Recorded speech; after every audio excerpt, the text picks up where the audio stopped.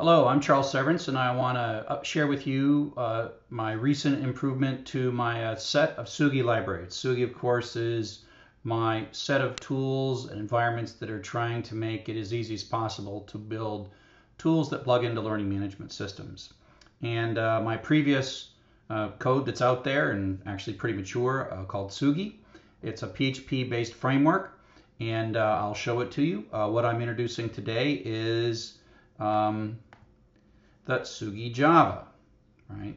So it's a Java library. I don't have all of it done for Java, but I do have uh, a Java library. And the basic idea of the Tsugi Java is that um, I want to be able to make a really simple servlet and have a set of APIs that capture the basic learning tool data. Um, and so if you take a look at the um, the Java Tsugi Java docs, you see that it's a it's a it's a way of building a servlet that you know calls a factory, gets this Tsugi thing, asks helps set up the output, what's the student's name, what's their address, the kind of things that you get from web services and LTI and the result service. And I have this all captured in a um, a set of interfaces for the context caliper. That's launch data, the link data, an output helper. This is a helper that helps you develop consistent output, the result service for grades, settings, et cetera, et cetera, and user information. And so if you take a look, for example, at the user, you see the display name and the email and the primary key within Tsugi, whether or not they're instructor or not. So there is all these things that make it possible to build a Java application in Tsugi.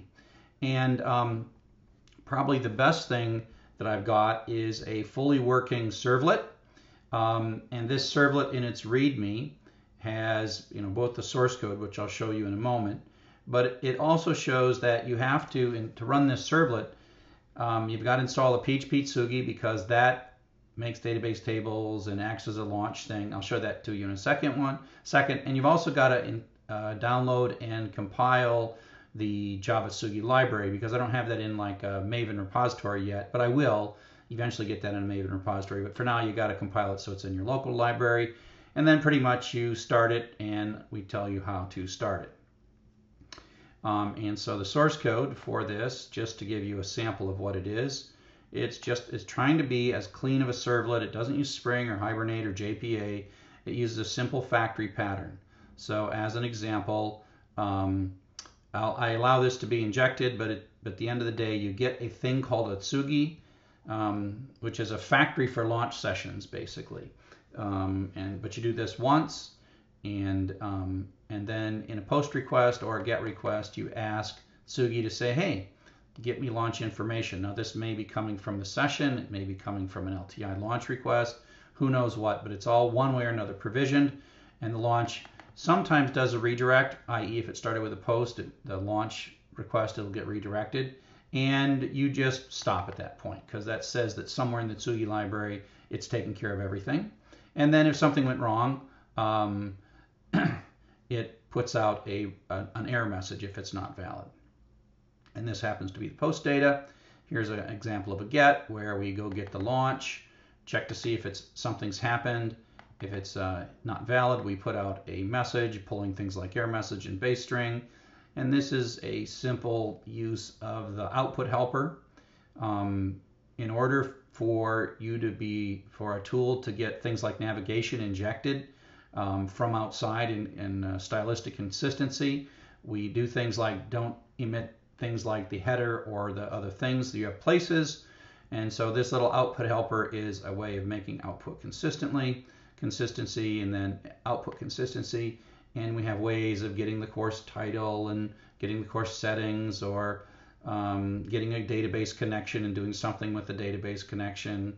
Um, so that's that's basically it. And um, and so so that's that's basically the idea.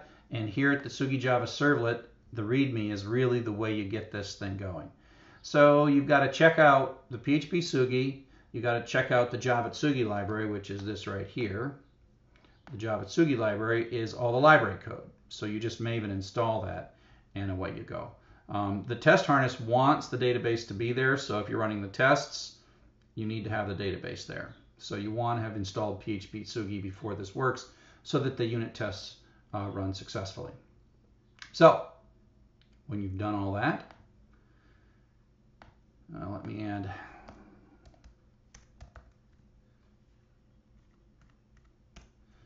So when you've done all that, you have this Tsugi database with things like the context and the key and all this stuff. And this is used by PHP Tsugi and created by PHP Tsugi. And uh, there's all these mechanisms. Java Tsugi uses exactly the same data model, exactly the same, and you actually can point both PHP Tsugi and Java Tsugi at the exact same MySQL database, and they'll play well together. They won't duplicate data. They will they will they update and manage the core LTI data the same, the exact same way. So you can have a mix in one database of Java and PHP applications. And because I don't have a launcher, even though you could launch this with any LTI launcher, I have built into the, um, here's the, hope I remember the password on this. So that this has all the administrator tools to do things like upgrade the database, check the nonces and manage access keys, yada yada. Okay, and so that's all the PHP code. I eventually will write that in Java, but for now I don't want to. I just want to just knock this library out, which I think is the coolest part of it. So you go into developer mode of Tsugi. You might have to type a password here, and the Java servlet can be launched just like all of the Java, the PHP tools. So there's that PHP map tool and then here is the sample Java servlet, and it's just doing an LTI launch to it. Oh, wait, I forgot to start it. That's okay, then I can show you how to start it. So here we go. CD applications, MAMP, htdocs, um, CD uh, Tsugi Java. This is the library. Maven clean install. That compiles that and also runs the unit test. As I mentioned, the unit tests actually talk to the database. I've got it testing stuff in the database. It doesn't harm the database. You don't want to run the unit tests on production. And then you go into,